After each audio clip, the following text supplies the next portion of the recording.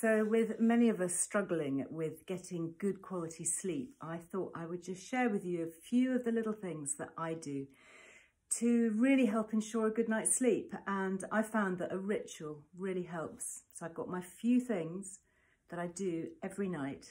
And honestly, it makes a world of difference. So starting off with what I'm wearing, I've put my PJs on and this is an American brand called Lens and they were sent to me by a friend.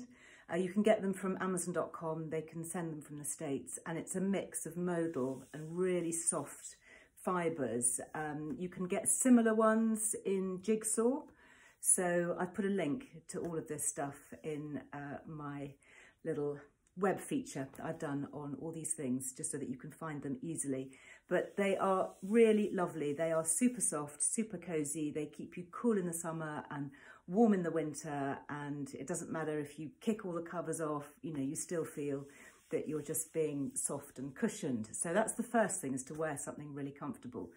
The next thing obviously is to look at your bed and in particular look at your pillow. So I like a Tempur pillow. This is one of the ones that's molded like that. So it's got the, the shape of the neck and I find that that really supports my neck super well when I'm sleeping. And then I do use a silk pillowcase and this is from a British company called the Nice Cream Company and it just makes a difference. It's, again, you don't get a hot and sticky in the summer.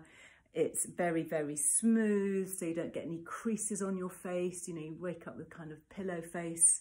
So having a silk pillowcase has actually been a revelation for me in recent years. So the other things that I always do is I always sprinkle a few drops of lavender oil onto my pillow. And I haven't found any issue with using real essential lavender oil. I know you can buy sprays and all of that and, you know, they're quite expensive and you have to, you know, go out and buy them again and again. Whereas a little bottle, I've got Neal's Yard pure lavender oil and I just love it. And I literally just sprinkle a few drops on. And for me, that's my kind of brain signal, the olfactory part of my brain, my limbic system that's up here, top of the nose, controlling mood and emotion. It smells those first few inhalations of the lavender and it goes, oh, I know, I need to be going to bed now. I need to be winding down. So just everything starts to calm. Uh, the things that I take, so I've discovered this brand recently. It's called Life Armour. It's a really interesting brand. I'm sure I'm going to be writing about it more in the future. And this is called Drops of Slumber and it's a mixture of all my sort of favourite herbs to help us sleep. So things like passiflora, for example, from passion flower. And it's really, really effective. It's in vegetable glycerine. It contains valerian. Valerian is another traditional herb to help us to sleep. It's got chamomile, lavender flowers, the passion flower, um, a little bit of peppermint syrup. And I just take one dropper full like that and I just put it under my tongue. Mm actually tastes really good. so it tastes kind of sweet, but doesn't have any sugars in it.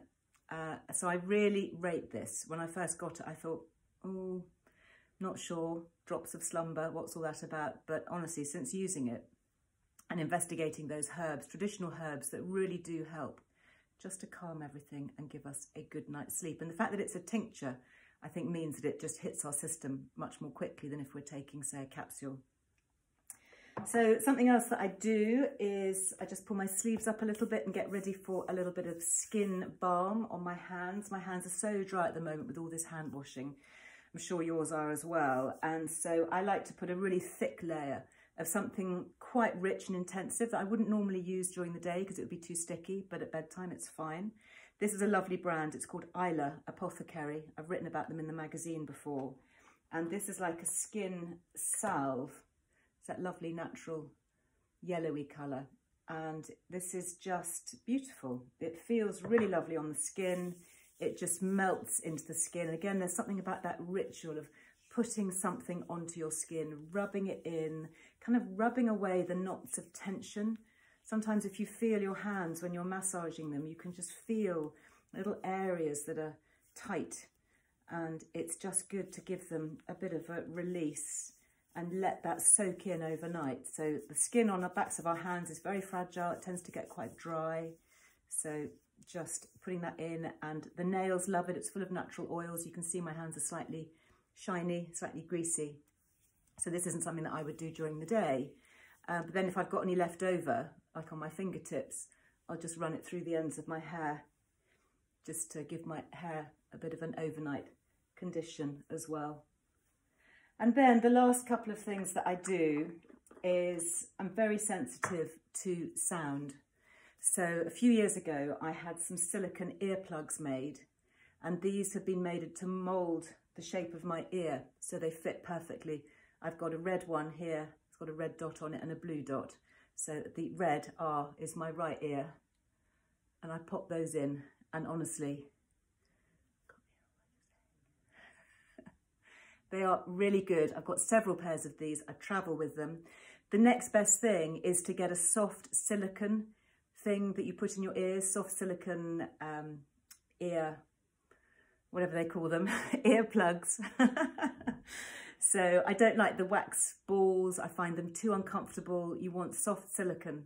Uh, and again, I found some that I popped in a link. So you don't have to go and get them molded.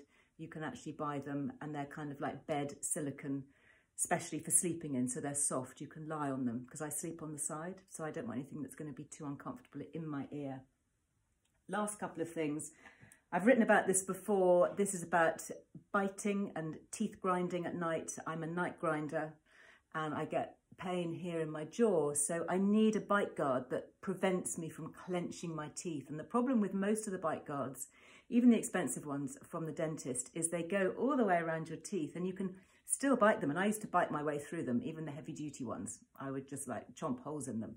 But this little thing, which is not expensive and it's just a funny little design. So you put it in your mouth and these little plates at the back here mean that you cannot clench and grind your teeth, but it doesn't look too unattractive. It doesn't feel as though you've got something massive in your mouth. I'll show you. There. So that's it. So, I mean, it's not fabulous.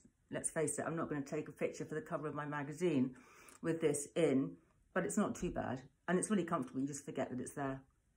And in the morning, just take it out. I just clean it with a bit of um, retainer solution.